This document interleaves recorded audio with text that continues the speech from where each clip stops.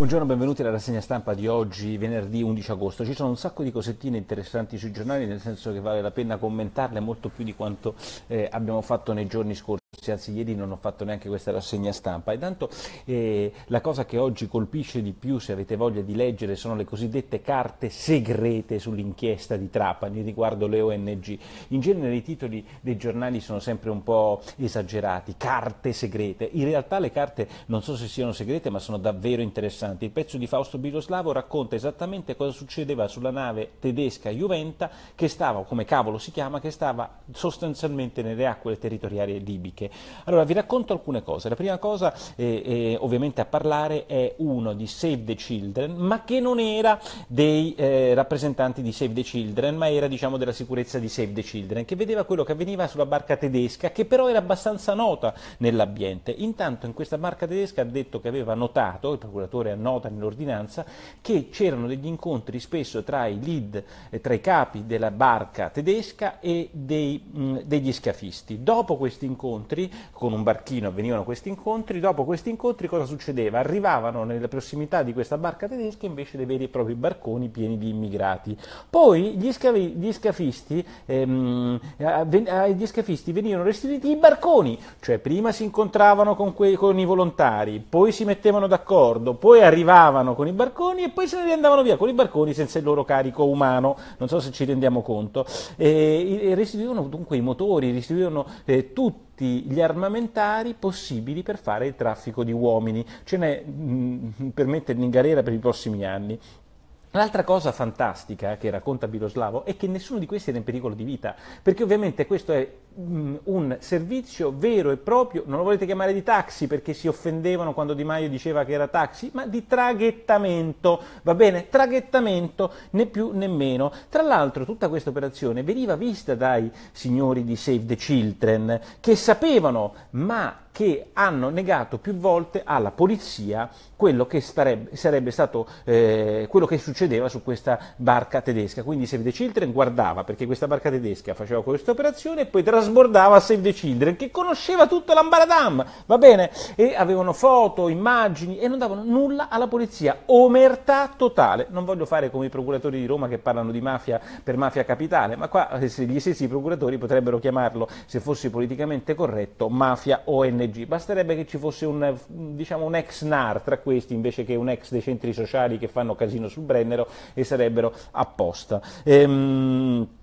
tra l'altro eh, si scopre dalle carte che quel famoso sacerdote eritreo Zerai per i quali l'avvenire di Tarquinio ha detto che il giornale è un giornalaccio, espande informazioni sbagliate, che è indagato, aveva una chat segreta e che nessuno conosceva, con, cioè conoscevano tutti ma nessuno poteva vedere, con, questi, ehm, con non solo eh, i, i, capi delle ONG tedesche, ma con molti di queste ONG per far sapere loro dove sarebbero arrivati i, eh, i migranti migranti. Questo non è una, un'operazione di salvataggio, questa è un'operazione di tra- traghettamento, punto. Ma se leggete queste carte la cosa vi fa rabbrividire. Tra l'altro riguardo al direttore di Tarquinio, l'arrogante direttore Tarquinio, il superbo Tarquinio dell'avvenire, lo conosco bene perché quella volta che lo invitai e lo invito anche altre volte a Matrix perché rappresenta un mondo che è interessante conoscere, ma ha un'arroganza nei confronti di tutti gli altri incredibile. Beh, l'ho avuto anche nei confronti del giornale. Insomma, eh, ci ha preso in giro come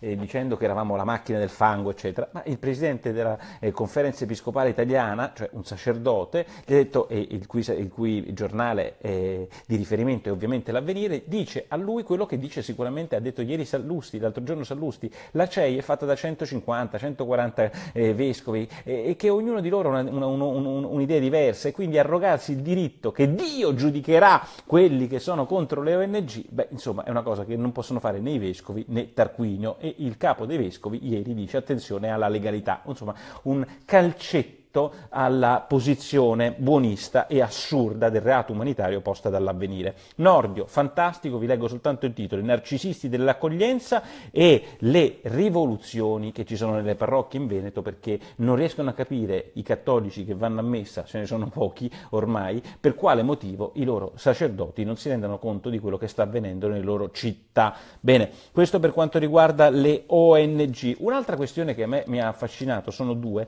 La prima è quella cosa cosa incredibile che è venuta sul Gargano, sarà perché sono di quelle zone, ma mi sembra fantastico il fatto, in cui, il fatto che in Italia noi abbiamo indagato per anni con titoli dei giornali Mafia Capitale, che era fatta da quattro rubagalline, come dicono proprio in Puglia, cioè da gente che rubava proprio sugli immigrati, ma che forse menava, forse intimoriva, forse estorceva, ma quello che è avvenuto a Foggia è un tipico agguato mafioso nei confronti di una persona che è uscita da sei giorni dal carcere, sei giorni dal carcere, ci sono le cronache oggi perché Minniti ha detto che manderà 200 nuovi poliziotti, speriamo, a Foggia, esce da sei giorni, sei giorni che esce dal carcere, e dopo due attentati falliti, dopo sei giorni prendono con un Kalashnikov, lo, eh, gli fanno un agguato in campagna, lo ammazzano, ci sono due testimoni, due poveracci, due contadini, basta vedere oggi le facce, due uomini che eh, nessuno piangerà a livello nazionale quanto i loro parenti piangono lì localmente, quando tutti noi dovremo piangere, e beh, vengono inseguiti nei campi e uccisi perché testimoni del fatto che c'era stato quell'agguato nei confronti di quel sì capo mafioso. Bene, la mafia la cerchiamo a Roma con dispiegamento di forze, di tensione, di, di, di, di, giornalisti e non l'abbiamo trovata a Foggia dove esiste veramente e dove oggi lo dice il procuratore Roberti, ma lo dicono da anni tutti i magistrati dicono che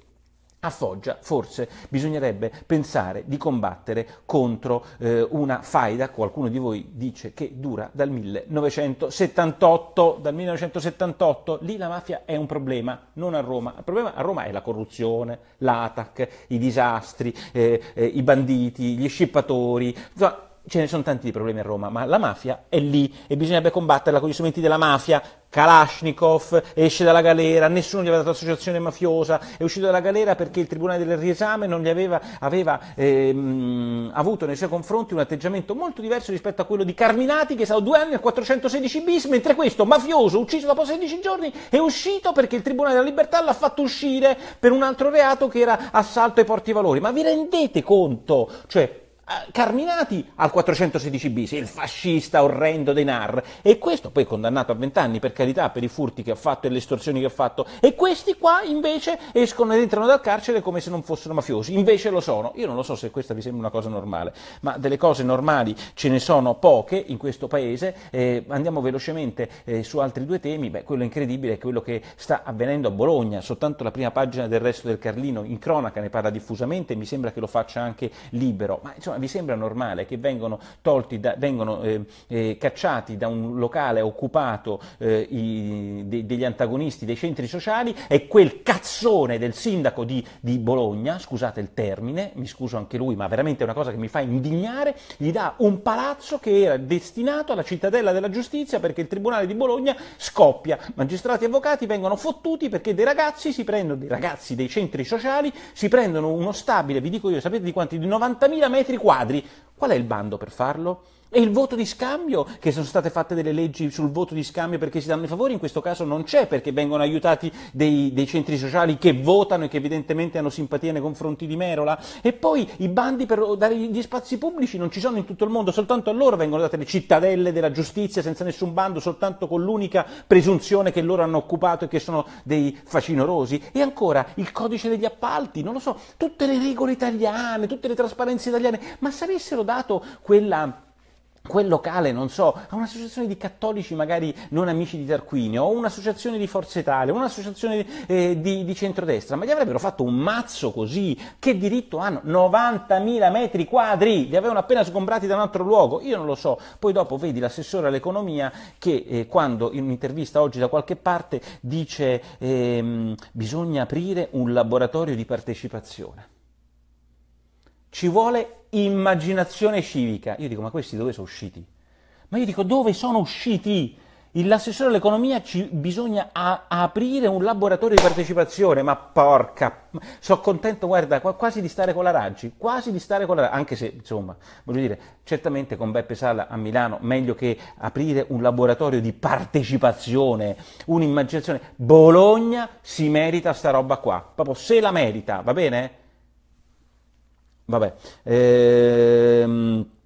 L'altra cosa che volevo dire, incredibile, il sindaco di Licata, il sindaco di Licata pure si, si merita quello che ha, eh, aveva sgombrato 67 case abusive e viene fatto fuori dalla maggioranza del suo consiglio comunale, almeno così si dice, io leggo tutti quanti i giornali che così lo descrivono, centro, destra, sinistra, Gian Antonio Stella, Libero, tutti quanti sono scandalizzati dal, fat, dal fatto che hanno fatto fuori il sindaco di Licata, non conosco bene la storia, leggo quello che scrivono sui giornali, ma una cosa è certa e che mi piace molto del sindaco di Licata, dice col cavolo che adesso mi date la solidarietà, tenetevi in piedi quando era possibile farlo, perché ovviamente il giorno dopo sono tutti solidari col sindaco di Licata, ma fino al giorno prima non lo era nessuno. Alfano e i suoi gli hanno fatto finta di stare con lui e poi dopo ovviamente la maggioranza dei 21 che l'ha sfiduciato c'aveva dentro anche i, eh, eh, gli uomini della, ehm, eh, di, di, gli alfagnani. Eh, bellissimo oggi, se volete, su Italia Oggi Morra che parla, Gianfranco Morra che parla di, eh, d'amore, l'ingegnere o d'amor, non so come cavolo si chiama l'ingegnere di Google fatto fuori per il manifesto cosiddetto sessista, in cui dice il fatto che ci sono delle differenze morra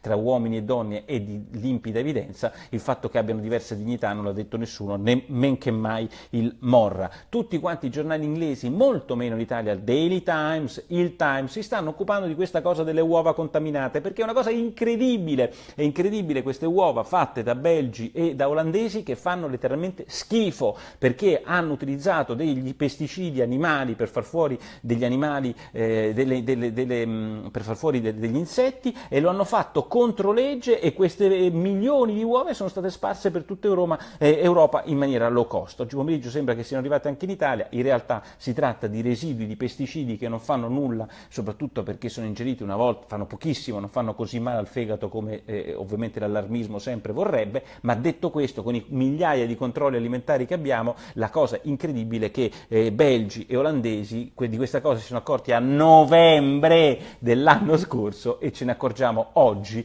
ehm, che eh, ci sono queste cont- viene diffuso l'allarme oggi. Beh, insomma, forse le autorità belghe e olandesi, questi fenomeni dell'auto, del, dell'auto, del, del, controllo, del, del, della, della, come posso dire, del rigore europeo, beh, insomma, eh, qualcosa potrebbero dire. Beh, insomma, qual- cosa dici dello schifo di CETA? Io dico che è inutile che ci lamentiamo di CETA, anzi la libertà di commercio è utile, basta vedere che riusciamo a fare in casino noi nel mercato europeo unico, in cui facciamo finta che ci siano controlli e precauzioni incredibili e poi ci facciamo fregare dai... Ehm, da, eh, da, da, questo, da, costoro. Bellissimo oggi il pezzo di Luca Enriquez sul Corriere della Sera, ve lo segnalo come ultima segnalazione in cui dice il diritto mh, dovrebbe essere lo strumento che serve gli individui e le imprese per andare avanti. In realtà è diventato un ordine superiore al quale la realtà economica deve piegarsi i giudici e i funzionari pubblici diventano titolari di un potere assoluto. Insomma, tesi austriaca eh, sul diritto hayecchiana scritta da Enriquez sul Corriere della Sera. Siamo in vacanza, avete due giorni per riposarvi, quindi forse è il caso di leggerlo se avete tempo. Saluti e, una, eh, e appuntamento domani. Ciao!